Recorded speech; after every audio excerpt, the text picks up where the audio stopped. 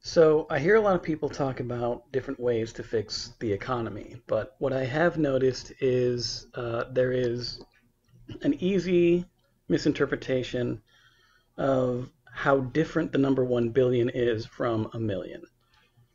Now, a lot of people seem to think that a million is a lot and that a billion is kind of like a million but better somehow. However, I want to illustrate that if you were to put a billion on a bar graph and you put a million on the same bar graph, the million will be virtually uh, invisible. It will be just hair thin at the bottom of that bar graph. And anything significantly less than a million will not even be enough to be visually represented on the same bar graph that a billion is on. So let's play with some numbers. Now, let's say you want to understand how many months rent. No, whoops, hold on. How many months rent? Oh, no, no, no, no, no. Don't give me this. Here we go. So let's say that our rent is 1200 a month, right? That's 1200 uh, what we want to do is plug in 1 million. So that's 1000, We've got two commas in there. We divide that by the 1200. Uh, the number that we get is 833. That means 1 million would pay 833 months of rent. Uh, well, we know that there are 12 months in a year, so we divide that by 12 and now we get 69.444 repeating. So that's how many years of rent 1 million would pay. Now let's do that same thing, but looking at 1 billion. So we go 1, followed by 9 zeros. We have three commas in there. Now we divide that by 1200 and what we get is you know 833,333 uh, repeating. So we want to know how many years that is because that's how many months right there. So now we divide it by 12 again. Now it's 69,444 point, you know, 444 repeating. So this is an incomprehensible amount of months, so or years rather. So if we want to convert this into years, and we want to say how ask how many lifetimes this number would be paying the rent through. Um, if we assume that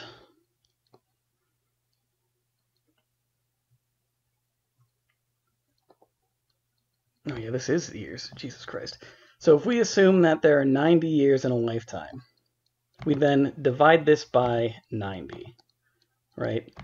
And now we're getting to 771.604 and then some.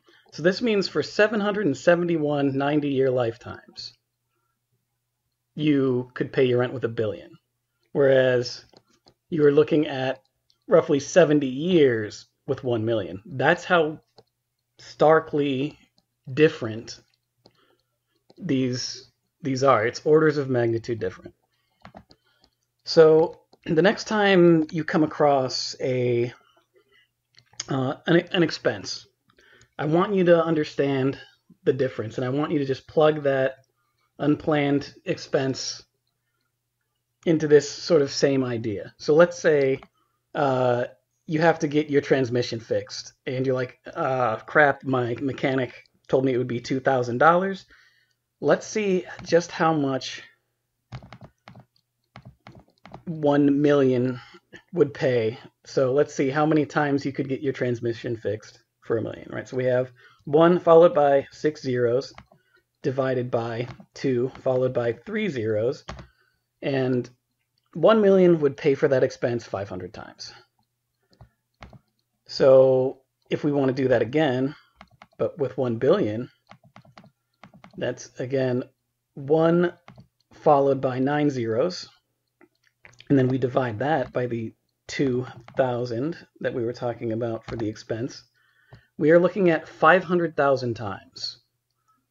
So the reason it's important to know this when we're talking about economics and how to fix the disparity of uh, human rights that people have based on their economic standing is there's a misconception that uh, people on food stamps or people on disability are sort of milking the system, and that's why there's not enough to go around. It needs to be abundantly clear, and I really need you and everybody who could be listening to this to understand fully how little it makes a difference if someone is on $150 a month on food stamps, right?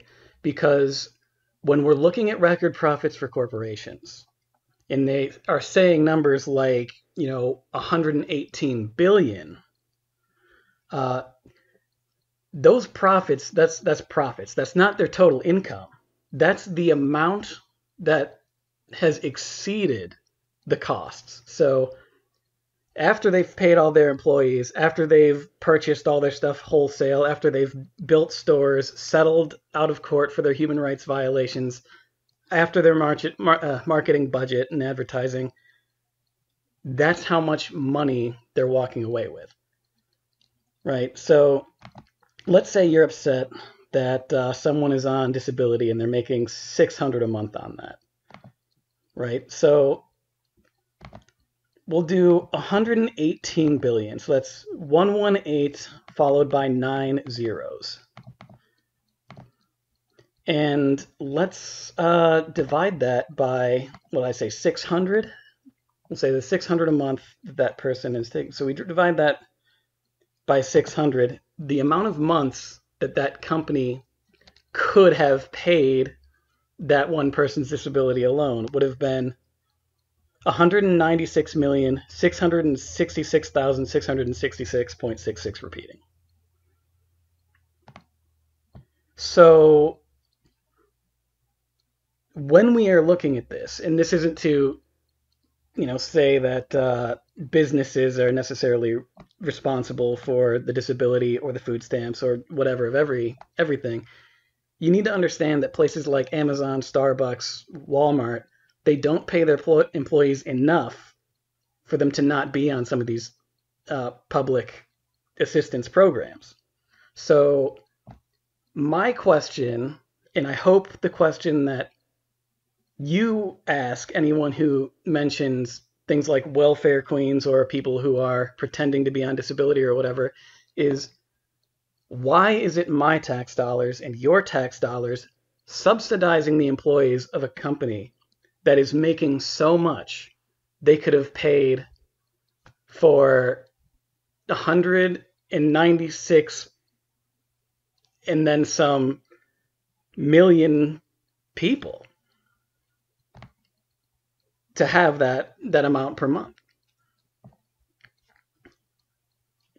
Because the fact is when we're when we're talking about the disparity of wealth and how there doesn't seem to be enough resources and there are so many people living paycheck to paycheck. Uh, no one on disability is your enemy.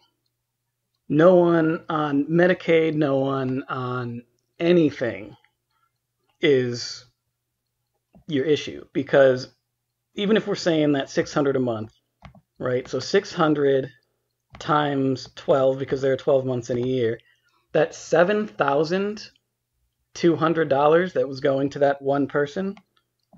Again, if we put this on the bar graph, it isn't visually represented. It would literally be so insignificant and so small that there wouldn't be a pixel showing that amount. It would be totally immaterial compared to a bar graph that has a billion displayed.